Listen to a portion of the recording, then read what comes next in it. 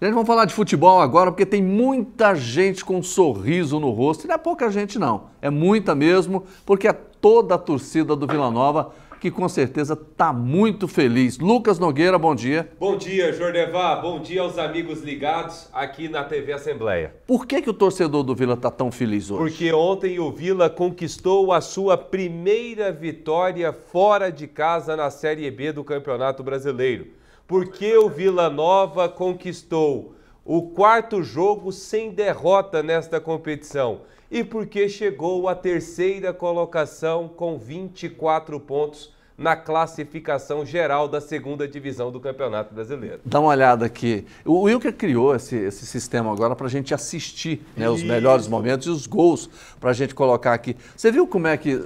Olha, quando o cara tem categoria é outra história, né? Ele preparou todos os porquês do Vila Nova e do torcedor está feliz. Então tá aqui Amazonas e Vila Nova. O Amazonas saiu na frente. Saiu com Rafael Tavares após um vacilo da defesa, um chutaço de fora da área. E... Aí depois, no segundo tempo, o Vila Nova empatou com o Henrique Almeida. Esse gol aí. Esse foi do Emerson Urso. Esse já Sim. é o gol da virada. Esse é o gol da virada. É. Você sabe quantos minutos o Emerson Urso estava em campo? Não. Um minuto. Um minuto já foi lá e fez um o gol? Minuto, primeiro chute, primeiro gol dele com a camisa do Vila Nova. E, e o HA. Agora esse aí é o Emerson, né? É, HA19. A fórmula do gol. HA19. Isso. Traduz isso aí pra gente. Henrique Almeida, número 19, a fórmula do gol.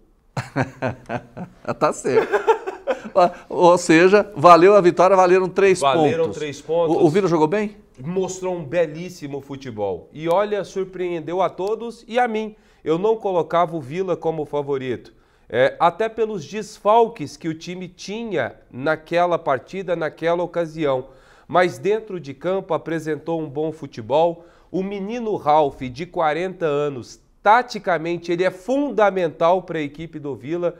E quando ele começou a fazer a cobertura pelo lado direito, ajudando o João Vitor, Aí o Vila dominou a partida, foi superior durante todo 90 minutos. Nós vamos falar do terceiro porquê, que é a questão da classificação do Vila Nova, mas vamos fazer o seguinte: nós vamos mandar um abraços agora, né, para o pessoal que acompanha o Vila Nova, que gosta, a jornalista Cristal. Sim. Ela sempre gosta. Um abraço para ela. Eu tenho certeza que ela está assistindo o nosso programa agora. Um abraço para ela, né? Deve estar tá fazendo festa com o Vila Nova. E o Pepeu? Vilanovense tá fazendo de festa. quatro costados, tá fazendo festa e tá ganhando almoço aí Deve pro lado ganhado uns 10 almoços. Ah, não, já tá abrindo restaurante. né? Por isso que já tá mais cheinho, né? De Eu... tanto ganhar almoço. É. Né? Tá certo. E também o Wilker, que gosta do Vila Nova. É, falar mal falar. do Vila, né? Falar mal do Vila. Ele gosta de Mas falar mal vamos lá, me conta uma coisa. Conto. Com essa vitória, o que, que o Vila melhorou na tabela?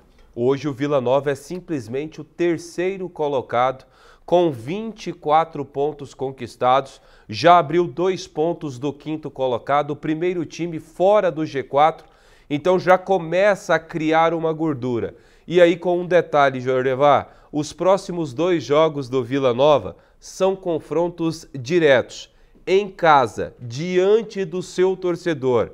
E existe um lema na torcida colorada: Caiu no Oba, o Vila não perdoa. O Vila está invicto até aqui nesta Série B do Campeonato Brasileiro, jogando no Onésio Brasileiro Alvarenga. Vai enfrentar a equipe do Havaí. Do Havaí, que é o quinto colocado. Com 22 pontos. 23. É, 23, 23. perfeito. E depois encara o Santos, que é o líder com 25. Hum, tudo aqui? Tudo aqui. Que legal. Tudo aqui. Agora, agora uma pergunta aqui. O, o, o Vila está na terceira posição, só que o Sport Recife pode ultrapassar ele, porque eu tenho um jogo a menos. Sim. Se vencer. Se vencer. Mas não vai, não. Mas, mas a, pode até vencer, mas o Vila ainda segue no G4. É isso que eu queria dizer. Ele está ele tá no G4, pronto, Independente acabou. de qualquer outro resultado, o Vila está no G4.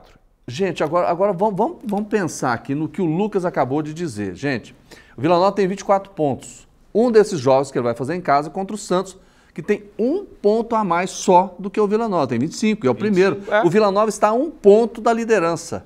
O Vila, enfrentando o Santos, ele pode disputar a liderança da Série B no próximo dia 18, quinta-feira, 8 horas da noite.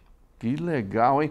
Que fase essa do Vila Nova, hein? Espetacular. E aí, méritos a Luizinho Lopes, que quando ele chegou, ele arrumou o time do Vila. Quando foi contratado, muito criticado a diretoria pela contratação do Luizinho. O Vila tem que contratar um técnico melhor. Com o Luizinho Lopes vai lutar para não cair. Parece que a, a diretoria não faz um trabalho para o Vila chegar à Série A e hoje nós temos que dar a mão à palmatória porque o trabalho que o Luizinho Lopes faz é simplesmente extraordinário. Detalhe: o Vila é, vem sofrendo poucos gols, arrumou a defesa, o time está evoluindo e hoje merece a terceira colocação da Série B. Mas você sabe o que, que tem muita gente, muito torcedor do Vila Nova rindo para as paredes? É quando ele olha no retrovisor. Não, isso para eles é maravilhoso. Vê lá atrás. Não, mas tem que olhar com muito cuidado, porque já está lá atrás. Nós estamos falando do Goiás, gente. É o oitavo colocado hoje. Exatamente. Oitavo colocado Goiás, é 21 pontos. Precisa é. reagir. Mas vai reagir, Jorge. Vai. Vai. O Goiás Com o é mesmo time técnico ou sem trocar o técnico? Vai precisar trocar de técnico. É. É, porque o técnico, ele mudou esquema tático para ele é plataforma, né? É. Ele fala plataforma. A plataforma que eu utilizo de três zagueiros é esquema. Aí ele fala plataforma, para falar bonito. Tem, Parecendo que está num tem, congresso. Tem algumas coisas estranhas no futebol, porque antigamente você, você contundia. É. Hoje o cara tem um desconforto muscular. Desconforto, né? né? O estiramento na coxa, hoje é lesão grau 1, grau 2. É. É. Que coisa, hein, rapaz? O último terço do campo é o ataque. O último terço do campo? É. É o ataque. Várias coisas religiosas. Você já né? viu o volante que faz o box to box? Não, não. Nem sei o que, que é isso. É volante que ataca e marca ao mesmo tempo. Box to box. Que porcaria, hein, Jordão? Gente. Olha, quando Por isso eu morava, que o futebol quando, tá acabando. Quando eu morava lá em Morrinhos, né, Sim. na Fazenda Areia, não tinha esse trem, não. E o futebol era melhor, não era? Era bem melhor, campo te de chão, falando, né? o América de Morrinhos disputava até a primeira divisão. Pois é, grande Amel. Um abraço para Morrinhos, né, minha cidade natal. E de muita gente, do Hugo Duarte também, Hugo que é seu Duarte, colega aqui. Gente boa, tá É. descansando. Exatamente. Eu falo no Hugo, eu falo assim, gente, eu, eu trabalho com um cara que foi campeão mundial pela seleção brasileira de futebol. E é o Hugo. Defendeu goleiro. o chute de Van Basten, meu filho. É? É. Só do Van Basten. Só do Van Basten. Que já foi melhor do mundo, esse holandês. Jogava quase nada. É, eu lembro dele no Milan fazendo. Fazia chover, né? Fenômeno, né? Fenômeno. Ô, Lucas Nogueira, obrigado pela sua participação. Daqui a pouco tem mais, né? Daqui a pouco tem mais. Vamos destacar a Copa América. O Brasil foi eliminado, mas hoje tem a Argentina contra a equipe do Canadá. E também tem um joguinho mais tarde, um jogo ruim, uma peladinha simples, a Espanha encarando a França pela semifinal da Eurocopa. Só isso. Só, é uma peladinha aí. Gente, que pelada de assistir, né? Não, vai, não tem aquela dancinha na hora de bater pênalti, não, né? Não, não tem aquela ciscadinha, não. Não, né? Não, não lembra isso É, não, o- Jordevar. Tá bom, vamos continuar? Vamos continuar? Tchau. Um abraço. Abraço.